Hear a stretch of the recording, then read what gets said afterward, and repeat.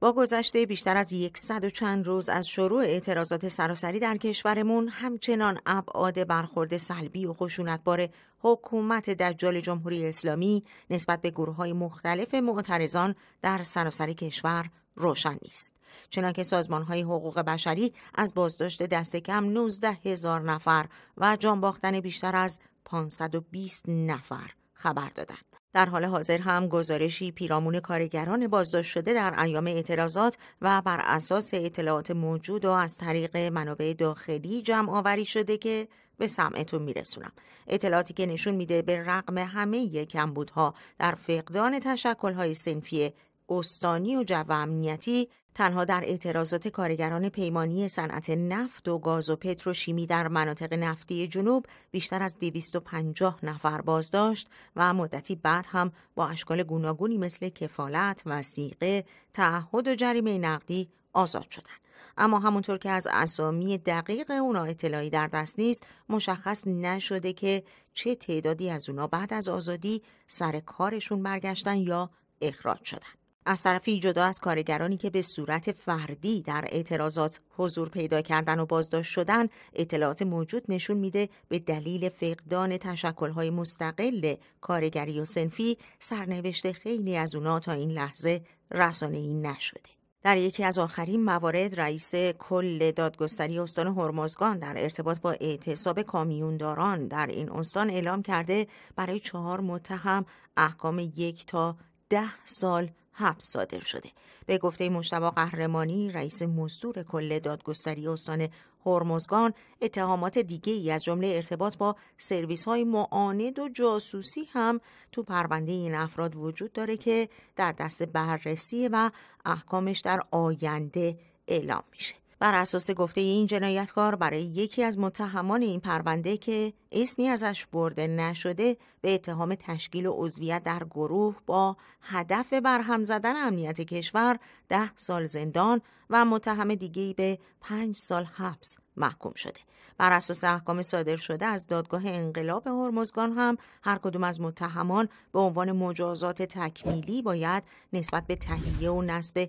پنجاه عدد تابلو و علائم راهنمایی رانندگی هم اقدام کنند. مشتبا قهرمانی در ادامه اعلام کرده این افراد از اتهامهای سنگینتری از جمله اخلال در حمل و نقل و اخلال در نظام اقتصادی اتهامهایی که واهی در جمهوری اسلامی مبرا شدند چون با استعلامی که از ادارات متولی این حوزه صورت گرفته در سه روزی که متهمان فراخوان داده و اقدام به تحریک و تهدید رانندگان به اعتصاب کردن نه تنها اخلالی در امر حمل و نقل به وجود نیامده بلکه با بیتوجهی رانندگان شریف به فراخان ضد انقلاب و طبق آمار حدود 11 درصد هم صدور بارنامه های حمل و نقل اضافه شده. عباس هاشمپور فعال کارگری و از اعضای کمیته هماهنگی برای کمک به ایجاد تشکل‌های کارگری روز هفتم مهر توسط نیروهای مزدور امنیتی شهر اشنوی بازداشت شد و بعد از 66 روز با قرار وسیقه 500 میلیون تومنی تا زمان پایان مراحل دادرسی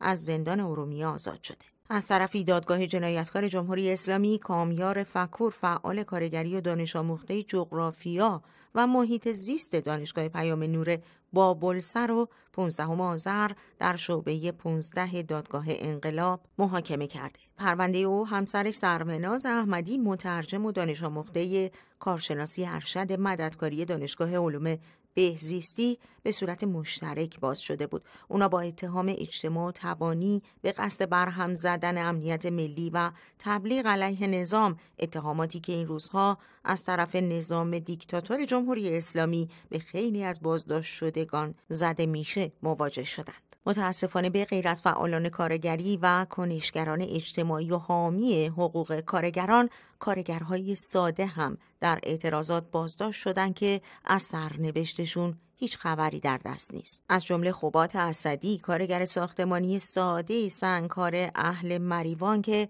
سنندج مشغول کار بوده و روزهای اولیه اعتراضات در محله حاجی آباد سنندج هدف نیروهای مزدور و جنایتکار سرکوبگر قرار گرفته و به شدت مجروح شده. بعد از اون توسط نیروهای مزدور امنیتی به مکان نامعلومی انتقال پیدا کرده و تا این لحظه هیچ اطلاعی از وضعیت و محل نگهداری این کارگر در دست نیست. اسماعیل عبدیانی هم دیگر کارگری است که اهل سقزه و از روز سهشنبه دهم آبان بر اساس گزارش هنگا در محل کارش واقع در شهر بانه توسط نیروهای مزدور حکومتی رو بوده شده. مهدی کرمی آشتیانی هم کارگر شرکت واحد اتوبوسرانی تهرانه که از روز شنبه نهم مهر ماه 1401 ناپدید شده و کسی ازش خبر نداره. فرزاد سیفیکاران روزنامه نگار ساکن هلند در یک رشته توییت نوشته وقتی با خودروی شخصیش از مقابل دانشگاه علم و صنعت رد می شده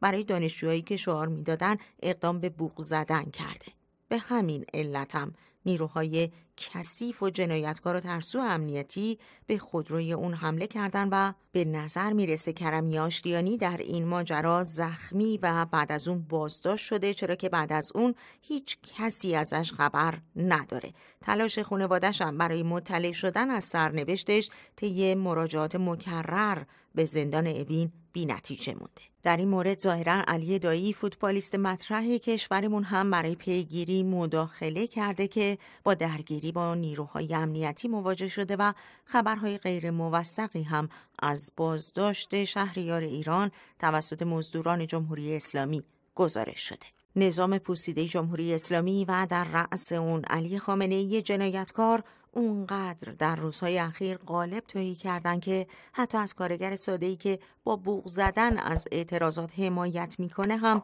نمیگذرن و به گمان اینکه با این بگیر و ببندها و جنایات می‌تونن صدای مردمی رو که بعد از چهل و چند سال جرم و جنایت در برابرشون قد علم کردن و ساکت کنن. قافل از اینکه ملت ایران کمر به سرنگونی این زحاکان تاریخ کشور بستند. و تبریک به جامعه ایرانیان و هموطنانمون در سراسر دنیا. نرگس محمدی برنده جایزه اولاف پالمه سوئد شد. جایزه اولاف پالمه سال 2023 به نرگس محمدی فعال حقوق بشر و زندانی سیاسی ایرانی و همچنین دو فعال حقوق بشر بنیاد اولاف پالمه طی یک بیانیه مطبوعاتی که توسط یواکیم پالمه قرائت شد سه نفر رو به عنوان دریافت کنندگان این جایزه در سال جاری میلادی معرفی کرده. مارتا چومالو فمینیست اوکراینی متخصص جنسیت روانشناس و فعال حقوق زنان که سال 2020 برنده جایزه لاله حقوق بشر در هلند شده بود. ارن کسکین وکیل و فعال حقوق بشر که در زمینه حقوق پناهندگان و خشونت جنسی و تبعیض‌های قومیتی نژادی و جنسیتی در ترکیه فعالیت می‌کنه و نرگس محمدی از بنیانگذاران شورای ملی صلح ایران نایب رئیس و سخنگوی کانون مدافعان حقوق بشر نویسنده مجموعه گفتگوی دو جلدی آزار و های سفید و برنده جایزه بین المللی بنیاد الکساندرا لانگر در سال 2009 که متاسفانه در حال حاضر در مخوفگاه اوین به سر می‌بره. سپاس از اینکه کانال زندگی ایدال رو انتخاب کردین. فراموش نکنین که کانال رو subscribe کنید و با لایک و اشتراک ویدیوها از ما حمایت کنید. پیروز باشید و تندرست.